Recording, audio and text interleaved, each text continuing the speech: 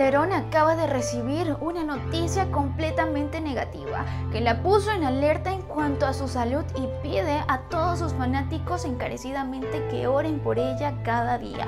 Te contamos todos los detalles el día de hoy aquí en tu espacio favorito Famous Flows Up. Amigos, para comenzar el 2021 hay muchas personas del mundo del espectáculo quienes invirtieron mucho tiempo y pensamiento en comenzar pues este año realmente con las mejores energías y sobre todo pues con un optimismo completamente espléndido. Sin embargo, en algunas ocasiones pues estos planes se vienen abajo en el momento que podemos percatarnos que hay una noticia que realmente no esperábamos y por supuesto algo completamente indeseado.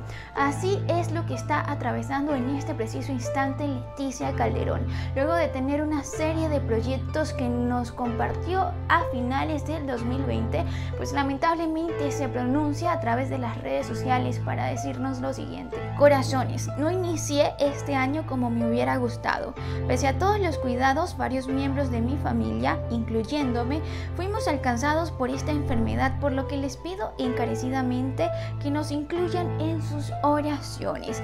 Gracias. Esto lo postearía Leticia Calderón a través de su cuenta de Twitter. Evidentemente, pues fue algo completamente impactante para todos sus fanáticos y una de las preguntas que comenzaron a realizar fue cómo sucedió, dónde sucedió, si ella pues estaba tomando todas las medidas necesarias y pues Leti nos compartiría también a través de sus redes sociales pues que realmente no sabe cómo adquirió esta enfermedad ni muchísimo menos el lugar. Recordemos pues que básicamente esto es una ruleta rusa y es muy difícil saber si un día estaremos bien y al otro día estaremos mal.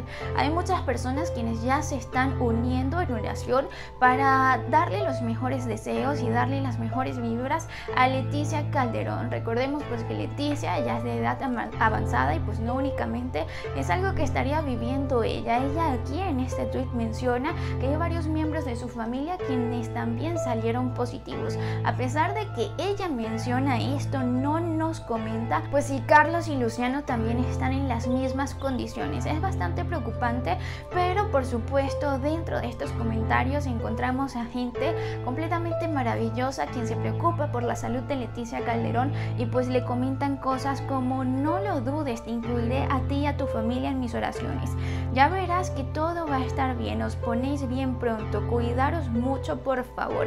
De hecho, uno, uno de los grupos de fans de Leticia Calderón también se pronunció diciendo, mi Leti, primero Dios, todos saldrán bien.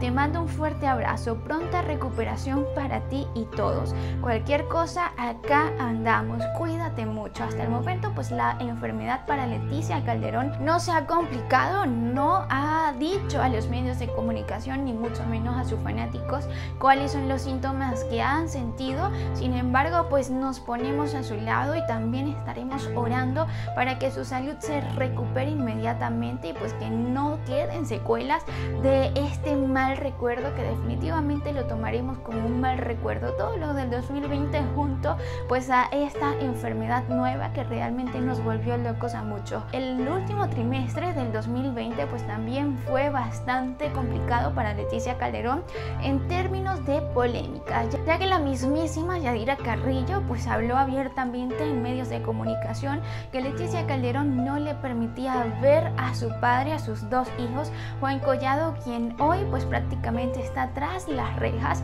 en Ciudad de México luego de hacer pues algunos negocios turbulentos que al final se terminaron descubriendo y sobre todo por su enriquecimiento ilícito. Amigos, me encantaría pues que ustedes también se pronuncien aquí en los comentarios o en los likes con un dedito arriba para mandarle pues nuestros mejores deseos a Leticia Calderón. Y amigos, recuerden que lamentablemente esta enfermedad no es un juego, así que es muy importante estar cuidándonos constantemente. No sabemos dónde nos puede agarrar esta cosa, así que recuerden mascarilla y alcohol gel en las manos. Nos vemos en la próxima y si tienes algún tips que quieras compartir con nosotros, pues bienvenido aquí en los comentarios.